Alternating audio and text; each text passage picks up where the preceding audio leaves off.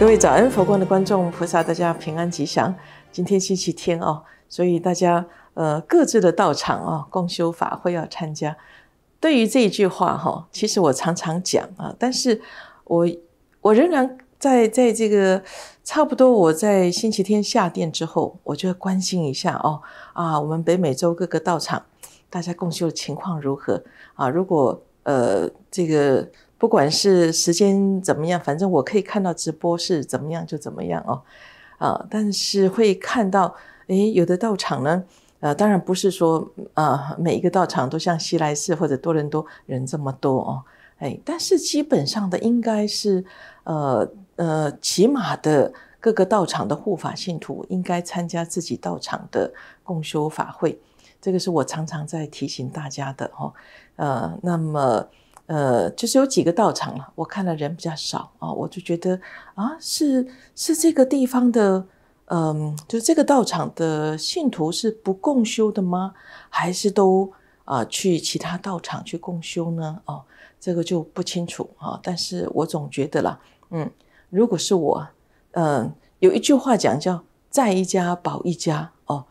虽然这句话其实呃不太通用哈，因为。哪一家都是佛光山吗？哦，呃，只要是佛光山道场，当然都 OK，或者你相应的道场啊、法门呢，也都 OK 哈。但是如果呃，如如果说啊，我都是护持啊，我自己常住这个寺院哈，那么呃，共修，我觉得是你要去帮这个寺院的法师啊，哦，这个是我我只能讲到这里了哦。那大家看了之后啊，我我想呃，护法护法。啊，你你在地你要护持哦，你所在的道场，我的意思就是这么简单哦。好了，那现在呢，呃，说回来哦，呃，今天呢，在渥太华佛光山哦，其实呃，二月六号啊，呃，是提早举行见识祈福法会哦。啊，这个我一定要再三强调，因为据我所知呢，有些呃信徒他是到呃到了呃，比如说最后一周。啊，之前他才登记，他每一次都参加见识祈福法会，但是他就是在法会前才登记哦。那这次我就要提醒了，呃，今呃就这这个月份二月份的哦，因为配合我在纽约跟渥太华的行程哦，所以就提早了哦。啊，这个是啊再一次提醒哦。那么今天就是渥太华佛光山呃起见见识祈福法会。然后礼拜的是八十八佛洪名宝忏哦，那一个上午的时间啊，那嗯，另外要提醒大家的呢，就是呃，再来的星期六，也就是二月十二号，然后接着十三号就是 weekend 啊，这个星期六日啊，那我们加拿大东岸三个道场哦，都在。参加啊，所以我们的护法信徒，不管是满地可的或者渥太华的，你到时候上啊这个呃共修连接的这个线，都是啊会连接到多伦多啊，参加多伦多的呃这个供佛斋天法会啊，嗯，供佛斋天法会哦，如果呃讲起来哦，在我们北美洲来看哦，呃温哥华就加拿大哦，温哥华。然后东岸是啊多伦多，那在美国呢啊就是啊西来市，然后东岸有纽约，哦那中部呢呃过去在 Dallas 哈，那以前在旧金山就这两个道场也有举行啊，那呃当然现在因为疫情我就不确定哦呃这个呃在旧金山跟在啊 Dallas 这边的情况如何？如果各位就近的话，应该都要询问一下哦。那那肯定都有办的，那就是呃。呃，温哥华跟呃这个多伦多，然后洛杉矶的西来寺跟啊这纽约，这个是我很很很肯定的说都有举办的哦。那么呃，所以就是要提醒大家呢，我们在东岸嘛，哦，所以呃在多伦多佛光山，它就是这个星期六日要举行供佛斋天法会哦。呃，那呃，其实我在现在讲啊，其实是有点抱歉哈，因为。呃，我应该更早更早提醒哦。那呃，就我所知，其实呃，在多伦多这边，他们很希望就是呃，因为文书作业要处理呀，哦，呃，就是呃，比如说你他有分哦，呃，你是供养三宝席的，还是你是供养诸天席的哦？那功德款当然不一样，但是一样都是法会回向的功德哦。啊，那只是说你按你个人的啊，不管是能力或者是啊，你你的啊，你可以参加哦，做哪一哪一席的这个斋主，就有三宝席，有诸天席。好，那么呃，如果详细要看的话呢，是呃我们在说明栏里头做了一个连接，你只要点进去看，它就有一张报名表格。好，那上面有很多资料，你是可以在呃这个网络上啊直接就。呃，填写的哦，之后把它下载，然后再啊，email 啊，到啊，比如说满地可的，当然就在满地可到场报名，然后渥太华就在渥太华报名，功德款呢就是留在满地可跟渥太华。好，那但是呃，这些法务的资料呢，你报名的这些内容，报名的资料呢，就去到多伦多啊。所以我说多伦多的文书组应该是很紧张了啊，就最后这几天了啊，所以。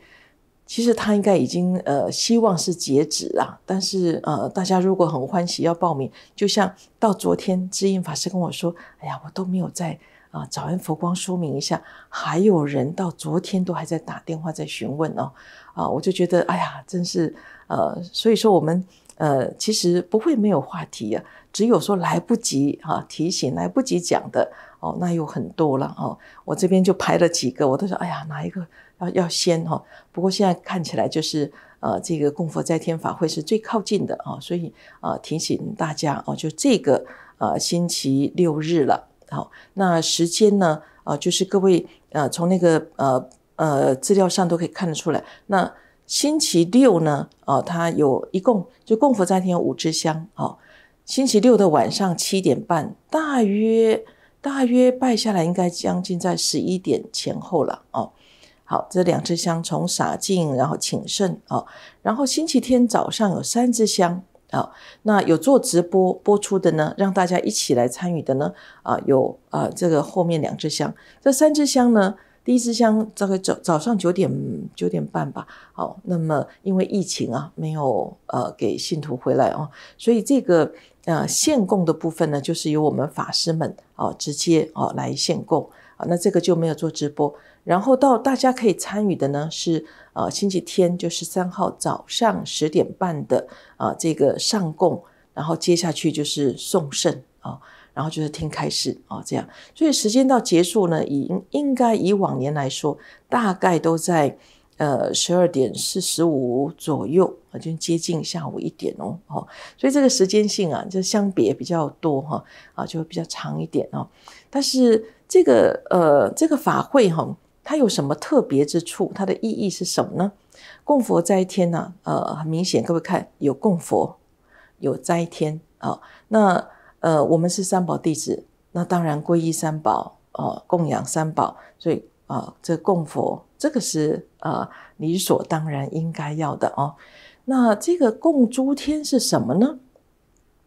其实呢，佛教从印度传入中国啊，它还是一样要尊重啊中国传统就本有的一些文化哦。那么呃，从呃这个呃在在民间呢，有这个呃就是要拜天呐，啊要为哈，它大部分会安排在嗯农历正月初八的晚上，然后跨到初九的早上哦，这样啊这正月呃初九。是玉皇大帝的生日哦，所以在这里呢，就要呃拜天公啊，这个是在中国呃民间呃这种传统的做法，就是要拜天公啊，那祈求啊这玉皇大帝哈，他掌管啊这个嗯，就是我们这个呃人世间的哦这些呃呃福德啊，赐予给给予保佑啊啊种种哦。这些哦，就是你能够所求满愿等等哦，就是要祈求啊，这个玉皇大帝要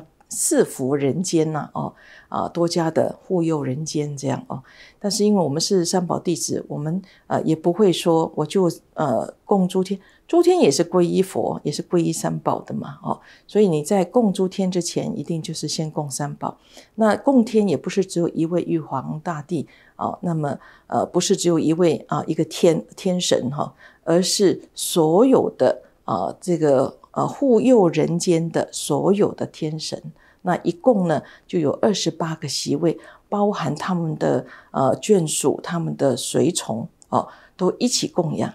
那这是非常盛大的哦，啊，所以这个可以讲哦，就是佛教界最大的感恩法会啦啊。这个西方国家呢，不是有呃叫感恩节吗？Thanksgiving，感谢你给予的啊一切啊，叫 Thanksgiving 感恩节。那供佛斋天法会呢，其实是感谢啊所有啊包包含就是供供呃就是感谢三宝的护佑，感谢护法龙天所有天神的护佑啊。那呃对我们凡间来说哈，怎么去感谢呢？哦，很多事情哈，有的时候我们讲说啊，这么刚刚好，哎呀，so lucky，好幸运啊！哦，这个呃，广东话讲哎，好彩呀！哈，呃，其实很多时候，呃，我都想不是好彩呀，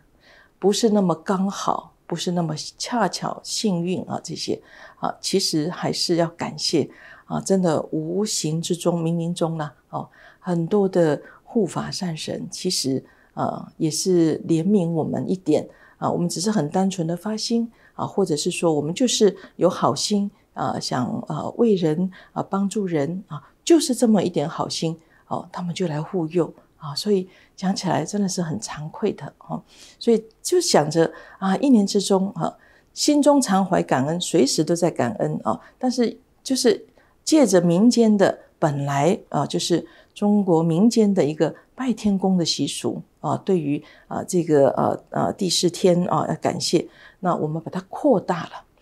在做法上，在意义上都把它扩大了啊，就是礼敬感恩所有的护法龙天啊天神天将啊，感谢啊，然后。呃，当然要感谢，要供养他们之前，我们先供养三宝啊。所以这个用意就意义所在，就从这里来哦。那各位，如果您参加，你可以随喜参加。你说我都没有报名，你到时候你只要呃这个连结啊啊上上网啊就上线了哦哦，你一样可以跟着法会进行，一样可以表达你感谢的心意哦啊。你不一定参加做斋主啊，如果你要参加做斋主，当然。就要有你的资料嘛，啊，才说你去看那个连接啊，它有一个什么登记表格啊，你去写。但是如果你要登记的话，啊，我说了，我就有点心虚哈，呃，是我要去主法，但是呢，我们早安佛光，我觉得啊，呃，排定好都要讲啊，哦，到现在讲，其实他们的文书作业呢，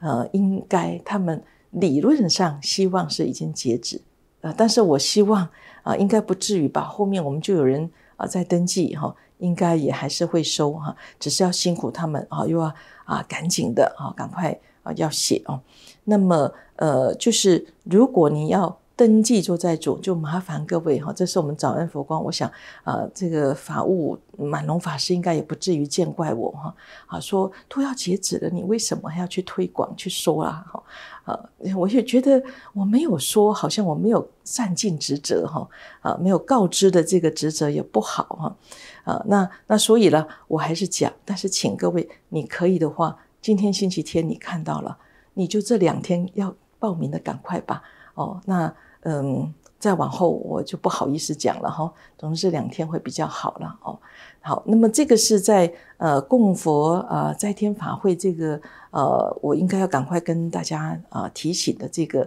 呃这个资讯，先跟大家讲哦。呃，那报名的事情，这个我比较呃紧张一点啊。至于其他的，有很多的典故，或者说，其实我们看到很多经过很多的感应啊，哦，呃，那。在过后几天，在法会前，我还有机会再讲的哦。那今天还有后面一点点时间呢。其实我想请大家欣赏一下，我在这两天呢，从在欧洲啊，欧洲的啊觉验法师啊，他常常有一些好的呃这个呃讯息啊，他也会寄给我哈啊，他也跟我讲啊，在哪里哪里很多我们的啊这个呃呃早安佛光的观众朋友们啊，来自欧洲啊各地啊，呃那。呃，所以他有些讯息给我，我看的时候，哇，真的是太赞叹了。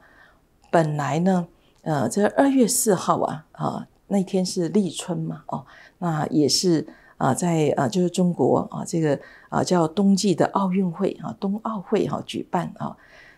这个中间呢，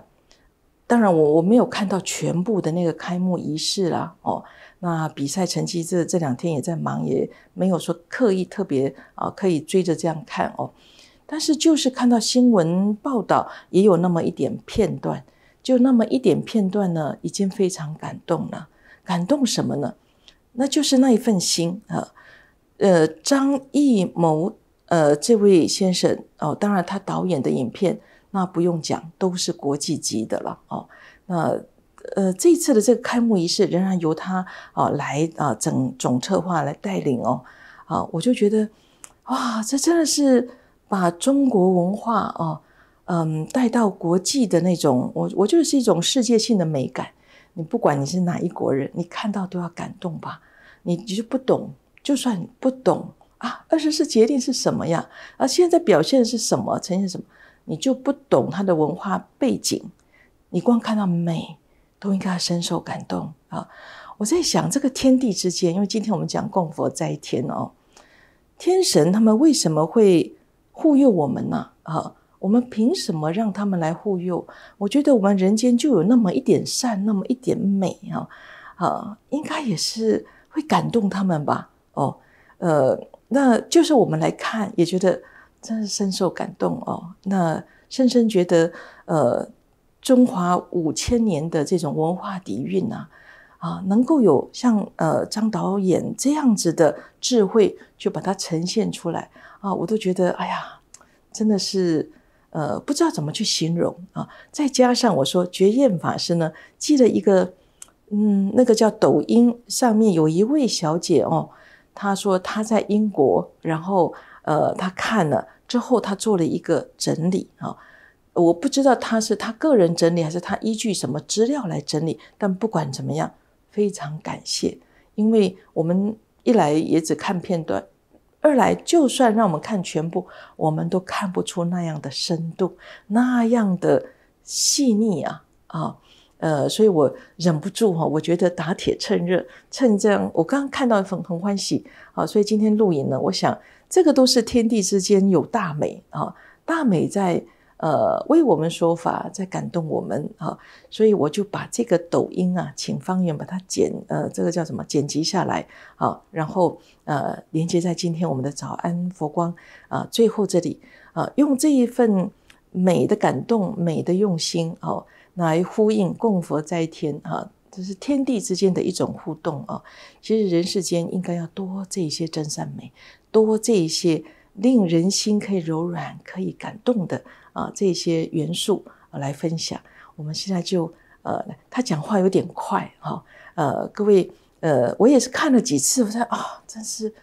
真是惊叹赞叹呐哦。好，所以各位请呃留意呃往后接下来的这一段呃视频的剪辑，请大家用心呃去呼应、去进入、去欣赏、去一起感动。祝福大家，阿弥陀佛。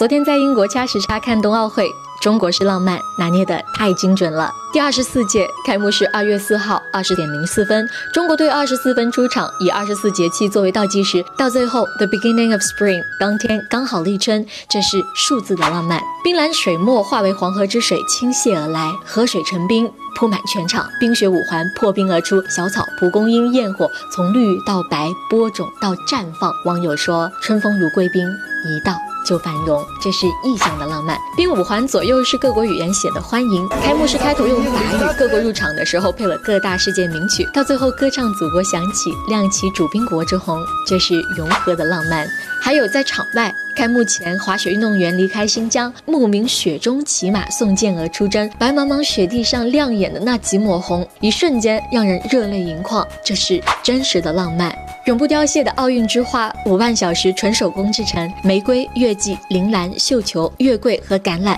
寓意着有爱、坚韧、幸福、团结、顺利与和平。还增加了一支蓝色波斯菊，寓意坚强。这是冬残奥会细节的浪漫。愿以此心寄华夏，且将岁月寄山河。我永远折服于这一份中国式浪漫。